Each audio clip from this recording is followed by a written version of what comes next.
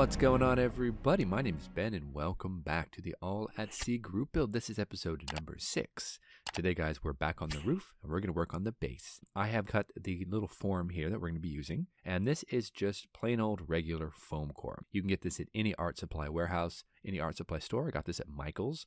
So I think it'll be pretty decent. I've cut it into these strips here, and what we're going to do is I'm going to attach them to the base probably with hot glue because that tends to be the best, you know, for not damaging any parts and pieces. We're going to go ahead and glue our foam core and then that will create a nice little box that we can then fill with our silicone rubber two-part mix. Once that is all ready to go, we'll be able to pour it in here and then we'll be able to have a beautiful silicone mold which we can just break down these sides. Everything will be nice and dry, pop it off, and we'll have a reverse mold. So, like I said, we're going to be using a glue gun. I'm going to run a little bit of glue along each side. Then we're going to push it together and we'll be good to go. So for our silicone rubber, we're going to be using this. Now, I've actually drawn these lines in myself, measuring with a measuring cup and some water. And I'm going to do the same thing with this one, and we will have two clear cups that we can go ahead and use for our part A and our part B. Then we'll go ahead and mix them together, stir them very thoroughly, and we'll basically have our parts. So this is a really handy thing to have. Now for measuring the water and to get those lines drawn in, I used this, just a basic old measuring cup. I just filled up with water and then I poured it into the plastic cups, marked it with a Sharpie, and then went on from there. So that should be fairly accurate. Now for the base itself, like I said, we're going to be using this foam core. I've got everything cut. It's all ready to go. So we are going to go ahead and cue up a time lapse and we are going to glue the sides onto this base. Now the nice thing about the glue gun is it shouldn't affect the wood itself. So we should be decent to go. Let's go ahead and use that glue gun, get all these sides glued in.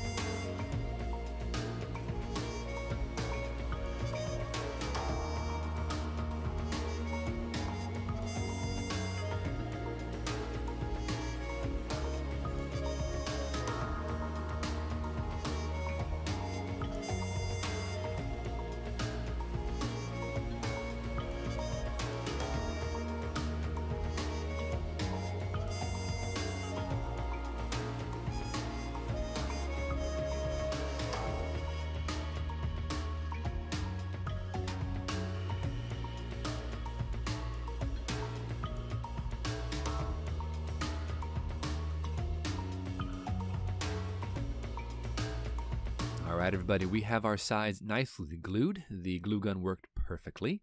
And now we have a beautiful base that we can go ahead and pour in our silicone. Now for our silicone, I'm going to be using this Oomoo 30. This is a company called Smooth On, and it's supposed to be pretty decent stuff.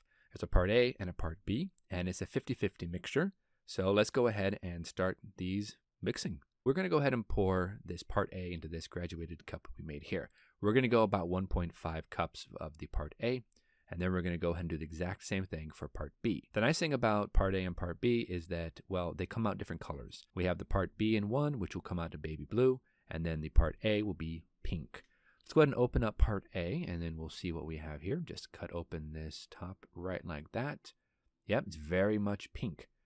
And it looks to be pretty tacky stuff. So I'm going to go ahead and get some gloves on, I think, too. So let's get some gloves on. All right, so I got my gloves. Let's go ahead and mix up what we need of each of these and see what we can do.